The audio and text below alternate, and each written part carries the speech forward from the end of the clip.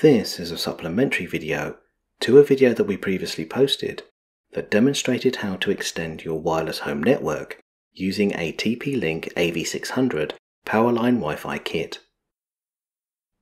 As the default IP address that TP-Link assigned to our AV600 changed once the AV600 became integrated into our home network, in order to reconnect to the browser interface of our AV600, we will need to find the IP address our wireless router has assigned to our Powerline extender kit.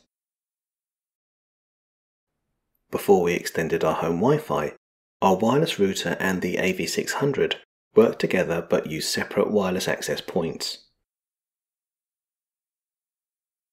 So when we integrated the AV600 hardware with our wireless router, we created a single extended wireless network.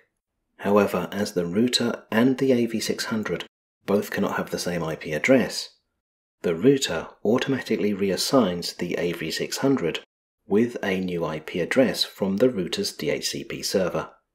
So in order to reconnect to the browser interface of our TP-Link AV600, we need to discover the new IP address that our router has assigned to our Powerline extender. On most wireless routers, you should be able to find the DHCP option, which will display a list of the devices that have been automatically assigned with an IP address from DHCP. However, because of the way the TP-Link AV600 works, your router's DHCP may not acknowledge that it has assigned an IP address to the AV600 extender. If this is the case, the only way to discover what IP address has been assigned to our AV600 is to use a piece of software called a network scanner. So in this video, we are going to use a network scanner application to scan our home network and find out which IP address has been assigned to our TP-Link AV600. For this demonstration, we will use an application called iNet Network Scanner, which can be purchased for either macOS or iOS via their respective app stores. Let's open the macOS version of iNet Network Scanner. Upon opening the network scanning software, you can see that the application has retained the previous scan that it has conducted. That scan lists our TP-Link AV600 adapter as using the IP address of 192.168.1.76.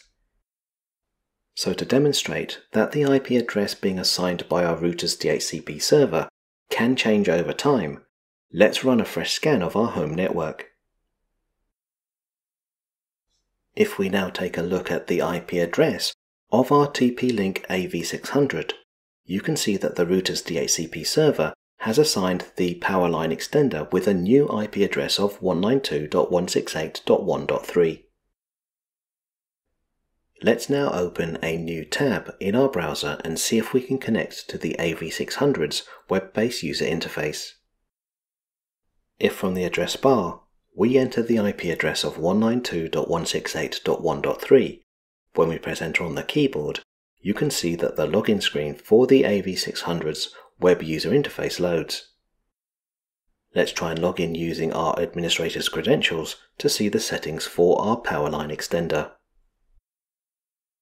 So to recap, in this video we used the network scanner to determine the IP address of our TP-Link Powerline wireless extender.